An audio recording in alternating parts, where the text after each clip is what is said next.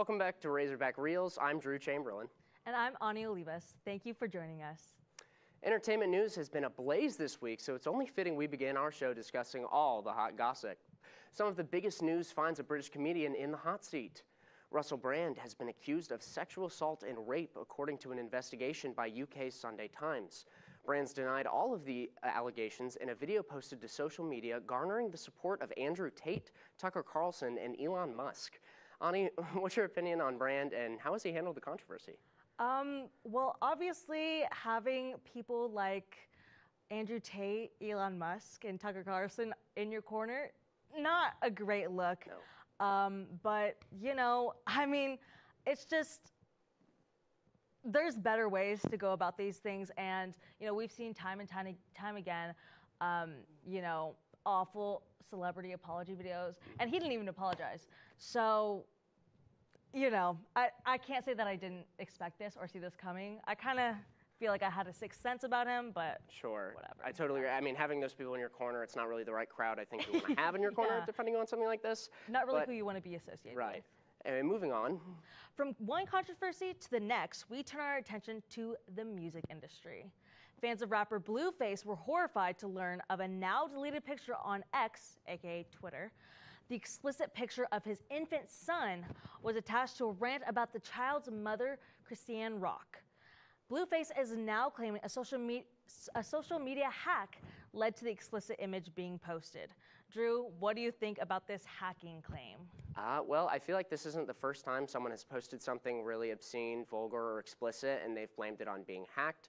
Regardless, I feel as if the fact that there was even a photo taken of an explicit, Yeah. an explicit photo taken of an infant is bad in and, in and of itself, and so I can't really see a lot of silver linings here or positive things about this at all. I, I think this is a shameful thing on pretty much everyone's end. Yeah, exactly. And I think he's been in the spotlight for multiple things that he's been doing around his children. Um, so Yeah, not good. just on top of everything Yeah. else. Anyway, to round out this week's Real Talk, we've got to address the Mouse of House, Disney. Amid the writer and actor strike, public perception of the media giant is tense. To make matters worse, Disney is raising their streaming serv- service prices. The Disney owned streamers, Hulu, Disney Plus, and ESPN, will increase their subscri- subscription fees in October. Ani, how do you feel like these services are worth the cost? I mean, like personally, what who, Disney is like sixteen dollars a month or something like that. Too much. I, yeah, it's just too much, and I don't. As, as someone, I don't know if I'm like making this about me, but I don't really spend that much time on streaming services. But I just, you know, I pay for Amazon mm-hmm. Prime, which I'm still on the student one, which is like six dollars a month. Yep. So like anything more than that, I'm good. I, I can't say I'm a huge fan of either of these, but I am a huge fan of Hulu because right now I'm watching New Girl. And so oh. If they raise the price to where I can't finish New Girl, then I'm going to be very upset. So hopefully I can finish it before they raise those prices. Exactly. While we're here at Razorback Reels trying to be fair journalists, sometimes the tea is just too hot to ignore. Our next segment, our next segment, D1 Drama, covers all the crazy headlines of the week. We have Elena Thompson in studio to give us all the juicy details of Hollywood's hottest couples. Thanks, guys. I'm back here at Razorback Reels to tell you all about the hottest new couples taking over Hollywood, or better yet, Kansas City. Up first, as I'm sure many of you have seen, Taylor Swift is reportedly dating Chiefs player Travis Kelce. The rumor started after Kelce attended the after after Kelce attended attended Taylor Swift's Eras tour all the way back in July, where after he attended, Kelce said that he wished he had been able to give Taylor a friendship bracelet with his number on it. But what really solidified these rumors happened this past weekend. Taylor Swift attended the Chiefs game with none other than Kelce's mom to watch him challenge the Chicago Bears. She was seen cheering on Kels all decked out in red. The pair was then seen riding into the sunset together in Kelce's car, better yet, the getaway car. Kelce isn't the only one Swift has been seen with, though, lately. She was spotted going to dinner with none other than Sophie Turner. Fans speculate that the two were talking about Mr. Perfectly Fine himself. Since Joe Jonas and Sophie Turner asked for a divorce, there have been lots of developments and some seemingly, seemingly bad blood blooming between the two between the used-to-be couple. Just this last weekend, Sophie actually filed a lawsuit against Joe and asked him if he would return their two children to their permanent residence in England. The kids have been on tour with the Jonas Brothers so that Sophie could focus on a movie that she was filming. But according to the lawsuit, Joe Jonas refused to return the children's passports back to Sophie and is refusing to send the kids back home to England. And last but not least, Pete Davidson is once again dating a new Hollywood A-lister. Rumor has it that Pete and Madelyn Cline started dating following the split of his previous partner, who he dated for for less than a year. Madeline attended Pete's comedy show in Las Vegas, and the two were seen spending time together after the show. The pair allegedly want to keep their relationship private, but hopefully soon we will have some more juicy details. That's unfortunately all the time that I have left, so I'm going to be sending it back to the, the anchors. For Razorback Reels, I'm Elena Thompson. Thanks, Elena, for updating us on all of the celebrity buzz. Coming up, we'll be diving into Hollywood's biggest fight yet. Stick around to see who the key players are.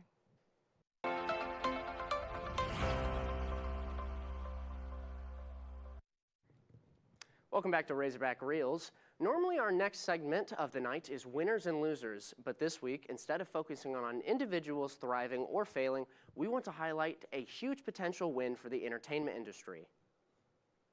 Here to break down the historic Hollywood strikes is Razorback Reels reporter Alyssa Coleman. Thanks, Ani. We've all heard about the strikes going on in Hollywood, but maybe you aren't sure of exactly what's happening. Let's break them down. Who's involved? Why are they striking? And what is the impact? Here's what you need to know. There are two big organizations on strike in Hollywood at the moment. The Writers Guild of America and the Screen Actors Guild and the American Federation of Television and Radio Artists. For everyone's convenience, these are commonly referred to as the WGA and SAG-AFTRA. These organizations are unions formed by writers and actors to protect themselves from having their talent taken advantage of. So, why are they on strike? Since May 1st of this year, the WGA has been picketing, protesting the standards that are put in place for the treatment of workers in the film industry. Writers are tired of being underpaid, overworked, and exploited, and for 146 days they have made that clear. The WGA is negotiating with the AMTPP, or the Alliance of Motion Picture and Television Studios. This organization includes many big studio names that you know, like Disney, Paramount, Universal, and more. The Writers Guild is demanding better overall compensation for its writers, including residual payments for streaming services, payment for each time they edit or rewrite a piece, and more fair wages. SAG-AFTRA has followed the actions of the WGA closely, beginning their own strike on July 14th of 2023. They've also been negotiating with the AMPTP, requesting better pay for their members and improvement in things like retirement and health benefits. One thing that both unions are demanding is protection against artificial intelligence. Writers and actors alike are concerned that AI could be detrimental to their careers if there are not regulations in place to keep things from getting out of control. Many are speculating that an agreement about AI has been the main point of contendency between the unions and studios, given that it is uncharted territory. As a result of these strikes, the productions of many movies and TV shows have stopped completely. Both strikes include a full stop of work for all of their members, meaning that without writers and actors, the show can't go on. While the general public is disappointed to hear that they will have to wait to watch their favorite films and TV shows, this strike has been monumental for the entertainment industry as a whole. Events as large as the Emmys have been postponed as a result, and writers hope that this is an indication that the industry is beginning to understand the importance of fairly compensating their talent. As you may have heard, the WGA has just announced they have come to a tentative agreement with the AMPTP as of September 24th. While they have not yet disclosed the details of this agreement, they have said that this deal is, quote, exceptional. We all hope that this is the end of a long road for writers in Hollywood and the start of fair treatment and compensation. They have suspended any picketing until further notice, but writers have not yet returned to work. As for SAG-AFTRA, the, writer, the actors remain on strike until they can come to a similar agreement with the AMPTP. The WGA continues to stand with them, and the rest of America is hoping to hear similar good news. Thanks for tuning in to learn all about the current strikes in Hollywood. Reporting for Razorback Reels, I'm Alyssa Coleman. Thanks, Alyssa, for that recap of the monumental labor movement in the entertainment world. After the break, we'll be traveling back in time to one of music's biggest nights. So grab your astronaut helmets and flags because we're heading to the VMAs. Stay tuned.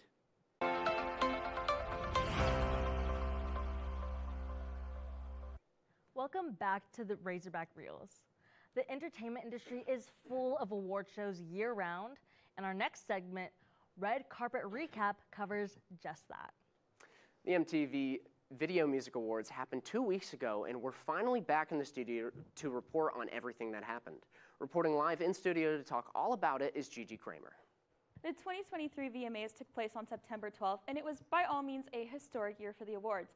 Women absolutely dominated in both nominations and wins, and today I want to highlight just a few of them. Starting off with a personal favorite, Taylor Swift was nominated for 11 awards and took home nine. This gives her 23 VMAs across her entire career. Among the nine awards she picked up, she picked up her third directing win of her career for the Anti Hero music video. Swift is one of only two directors who have won this category in back to back years. Taylor also gained some attention online for her hilarious reactions and overall sense of joy throughout the awards. It was amazing to watch her on the crowd reaction camera, and it was definitely a highlight of the night for me. Shakira showed up this year to absolutely blow everyone away to nobody's surprise. She won two awards, including Best Collaboration with artist Karol G for their song TQG. Beyond the awards, Shakira delivered one of the best performances of the night. She sang an incredible 10 minute medley of all of her biggest hits. Every single second of the performance was high energy. She sang, she danced, she changed costumes, got lifted into the air. I think she played guitar at one point. Shakira definitely pulled out all of the stops. Now, from the pink carpet to the stage, this next star absolutely shined in every aspect. Olivia Rodrigo shimmered in her dress, which was made of more than 150,000 Swarovski crystals, but Olivia was not one to let her look upstage her performance. Olivia's performance started off as expected with her sitting on stage to perform her song Vampire. However, she stunned the crowd halfway through with a planned malfunction. Set pieces were falling, literal sparks were flying, and a stagehand came out to escort Rodrigo off stage.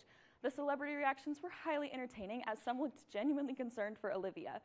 Seconds later, though, she reappeared, much to everyone's relief, to complete her mashup by performing Get Him Back, another song off her most recent album, Guts. The next artist has been in the industry for many years, but she gained a lot of more mainstream popularity since 2021. Of course, we're talking about none other than Sabrina Carpenter. Carpenter has been opening for Taylor Swift's South American leg of the Eras Tour and took a break for the VMAs. Sabrina performed hit songs Feather and Nonsense and delivered a fresh performance. Many fans were excited to see her pick up the phone in the middle of her performance as they think it could be alluding to a possible Taylor Swift collaboration in the future, especially given the fact that Sabrina has been opening for Taylor while that's just speculation for now, it's safe to say for certain that she gave an outstanding performance. While there are many artists that I didn't get the chance to cover tonight, I want to offer the biggest congratulations to all of the nominees and winners. I'm so excited to see all the music that gets released before the next VMAs. For Razorback Reels, I'm Gigi Kraemer. Thanks, Gigi, for recapping the iconic Video Music Awards. Now, I don't know about you, Ani, but I think Taylor Swift is very worthy of all the awards she won. Mhm. Um, a, a, Yeah. a, a part of all the I awards agree. she won, I think Olivia Rod- Rodrigo looked incredible in that, what was it, 150,000 crystal dress? I thought Yep. it was a very, very well put together piece of clothing that she looked great in. A lot of great reactions and stars from the night. What do you think? Yeah, I think I actually I actually missed the VMA, VMAs live, but I did go back and watch uh, like a recording of it, and it was so entertaining. I remember Selena Gomez was made into like a bunch of memes for the night, and that was super entertaining. Um, I just love her, and uh, especially amid all of like her and Taylor Swift's resurfaced like um, friendship pictures and things like that. You know, they they don't want to they don't want us to forget that they're still best friends. Mm-hmm. But don't tune us out yet. We're sticking to music with an album review after the break.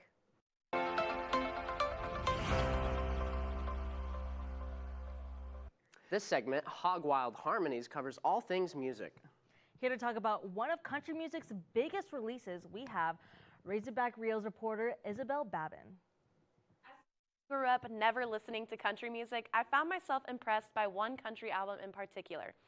Zach Bryan's self titled album was recently released and has immediately grasped the attention of many.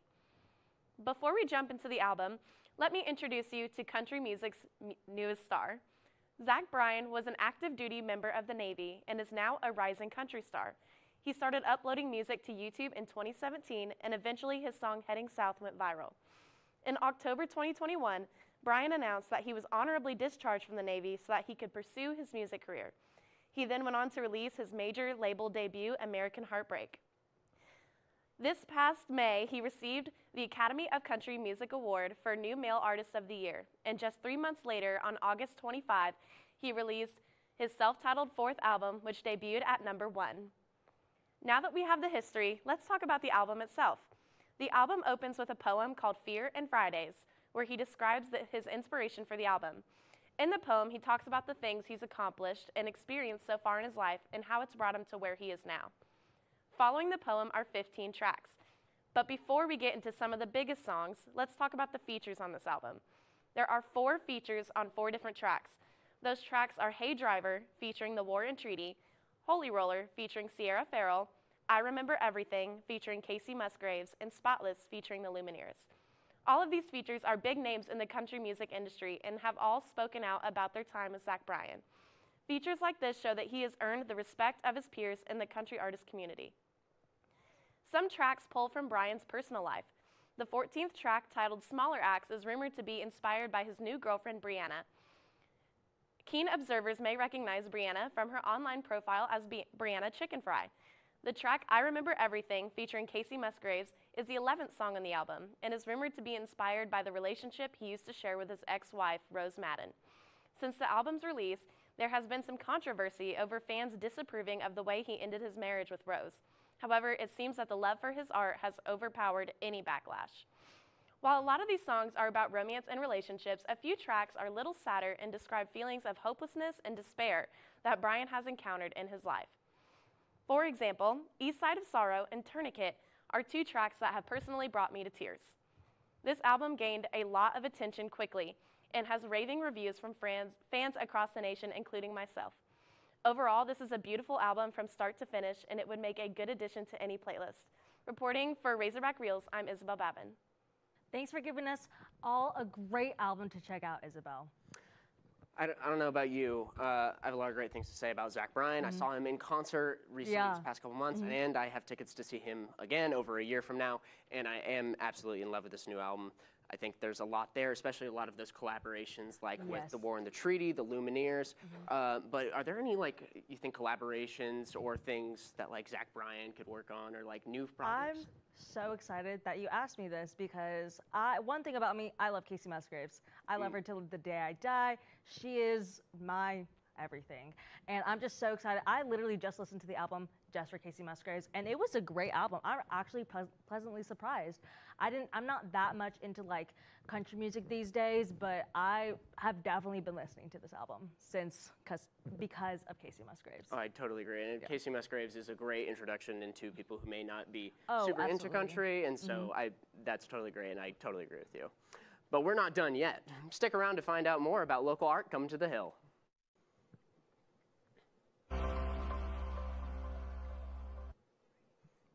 Welcome back to Razorback Reels.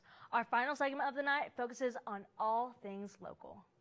Though Fayetteville isn't a traditional hub for national entertainment, many local organizations have stepped up to create a vibrant entertainment scene. Bud Walton Arena will host the 2023 Rewired Fest. The free event will be home to live music, creator talks, and lots of gaming. Band Ted Hammig and the campaign are back in the studio. The Fayetteville musicians are also hitting the road October 6th. That's all the time we have for this evening. Be sure to follow us on Instagram at Razorback underscore Reels. I'm Drew Chamberlain. And I'm Anya Olivas. Have a great night.